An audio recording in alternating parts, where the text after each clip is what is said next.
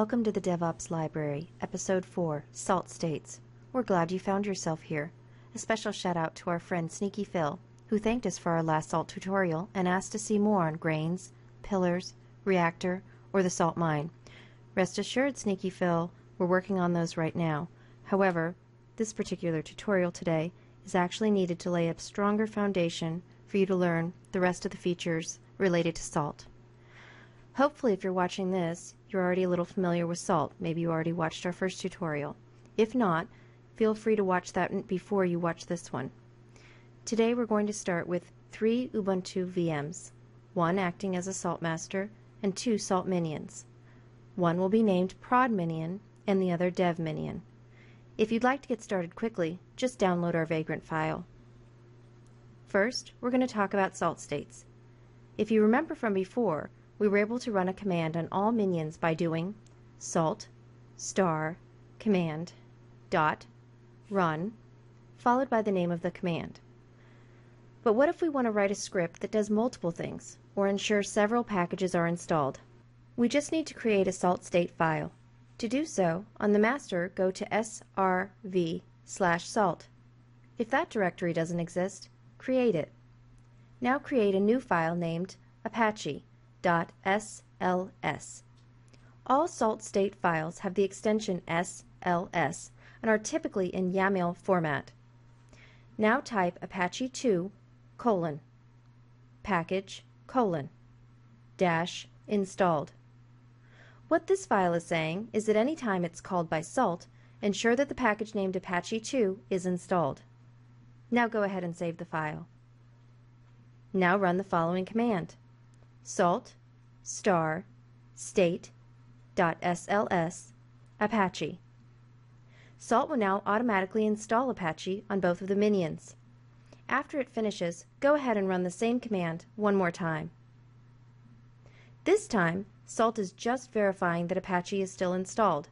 If it isn't, it will reinstall it, but for now, you should just see two messages saying that the package is already installed.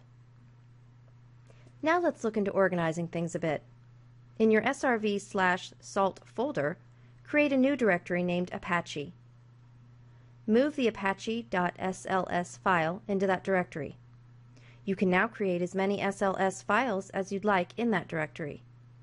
To reference them, use the name of the folder followed by a period, then the name of the SLS file without the extension. So, as an example, Let's run our Apache module again now that we've moved it. Salt star state dot sls apache dot apache. Now let's cd into the Apache folder and rename apache.sls to init.sls. That's init init.sls. init.sls or init.sls is called by salt if we don't reference the file directly. So now we can go back to calling salt star apache. That should be enough to get you going on creating states. But let's go ahead and create one more real quick. It'll help us demonstrate high states a little bit later. This time we're going to create a salt state for managing bash rc. Begin by creating a second folder under srv slash salt named bash rc. Now copy the bash rc file from root to this folder. Copy root slash bash rc to srv salt slash bash rc. Note we left off the period intentionally so that it doesn't hide the file by default. Now create a new file under srv slash salt bash rc named init.sls or init.sls. We're just going to add a few lines for ensuring that the bash rc file is managed on our minions. Add root slash dot bash rc colon. On the next line type file dot managed colon followed by dash user root dash group root dash mode 0644 and lastly dash source salt colon slash slash bash rc slash bashrc. Go ahead and save the file, exit init.sls, and open up bashrc. We're going to scroll down and enable force color prompt. Now save the file. If we ran salt star state.sls bashrc right now, it would ensure that all of our minions would have exactly the same bashrc file, with a color text prompt enabled. Don't worry about running it right now, though. We're going to talk about SALT's high state functionality. SALT by default looks for a file named top.sls under srv slash salt. Let's go ahead and create that file now. Inside this file, start out by typing base colon at the top.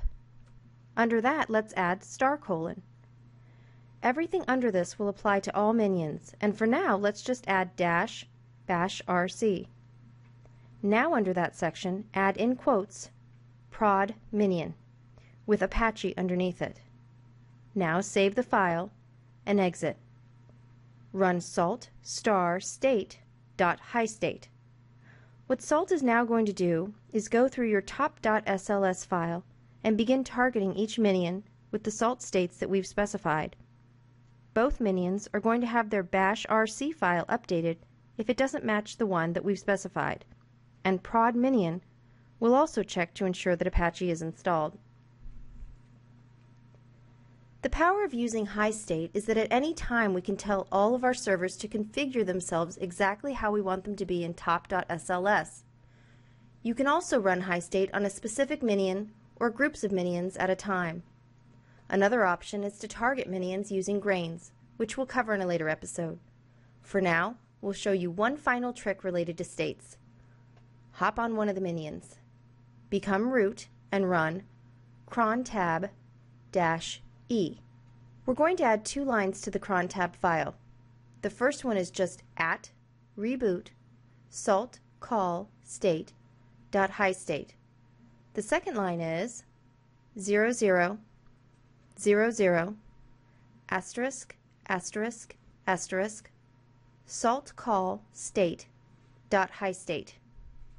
Go ahead and save and exit. From now on, anytime the server is restarted, a salt state dot high state will be called and will also be triggered automatically at midnight. Well, that's plenty to cover for now. We hope you're starting to see how easy it is to manage servers with SALT Look for our videos in the future as we'll be covering pillars, grains, salt mines, and more. Thank you so much for watching, and please feel free to leave anything in the comments that you might like to see in the future, or even just questions or observations that you've had. Thank you. Bye-bye.